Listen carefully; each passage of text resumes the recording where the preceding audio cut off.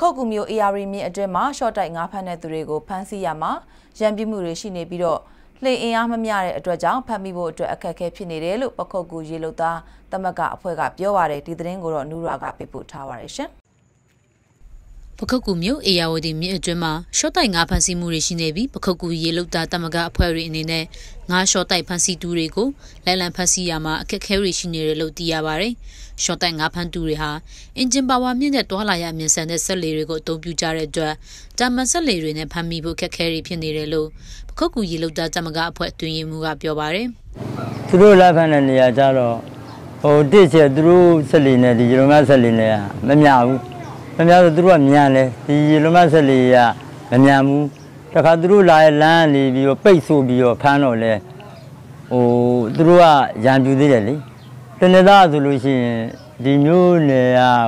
လူကြီးတောင်သိပါတယ်တရားပေါ်မှာသူတို့ကထူလိုက်ရင်အောက်ကထူလဲတရားပေါ်ဒီရောက်တယ်ဒါဘူးရင်လည်းလက်ထူရဲတယောက်တောင်တန်ရလို့စေုံတဲရပါတယ်နော်အဲ့လို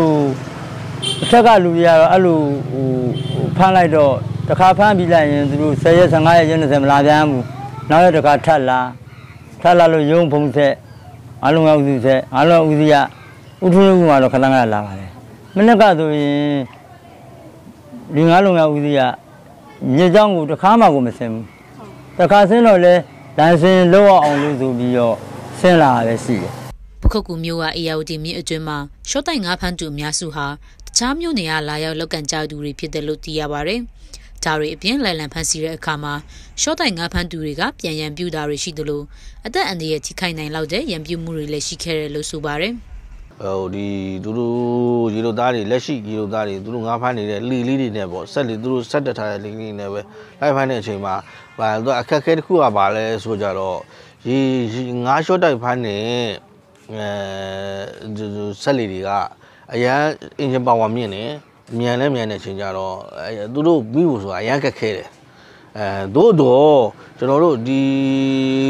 ဖားနေတဲ့အချိန်တို့မှာပဲကျွန်တော်ရမယံကကျွန်တော်ကျွန်တော်လည်းပါတယ်ပေါ့လေအဲသူတို့ရံပြူတာတွေလည်းတွေးရတယ် အဲလောက်လေးကွာနေပြတိုင်လဲတွေ့ရတယ်ဝိုင်းပြီးတော့မှရှော့တာတွေနဲ့ရိုက်တာတွေနဲ့လည်းဒါကျွန်တော်တို့ကြုံခဲ့ရတယ်ပေါ့လေဒီကိစ္စတွေကိုငါလုပ်ငန်းဦးစီးဌာနအနေနဲ့ကွင်းစစ်စစ်ဆေးပြီးဖမ်းဆီးအရေးယူပေးစီခြင်းတယ်လို့လည်းပြောပါရယ်ပခုတ်ကူရေလောက်သားကြမကအနေနဲ့2016နှစ်ခုနှစ်ကတည်းကဖမ်းဆီးအရေးယူမှုတွေကိုစတင်ခဲ့တာဖြစ်ပြီးအမှုခုနှစ်မှုအထိဖမ်းဆီးနိုင်ခဲ့တယ်လို့သိရပါတယ်။တဘာဝတယံဇာတာကိုပျက်စီးစေနိုင်တဲ့ရှော့တိုင်ငါးဖမ်းခြင်းလှုပ်ဆောင်မဲ့ဆိုရင်ရေချိုငါးလုပ်ငန်းဥပဒေပုံမှန်56ခတ်ခွေအရ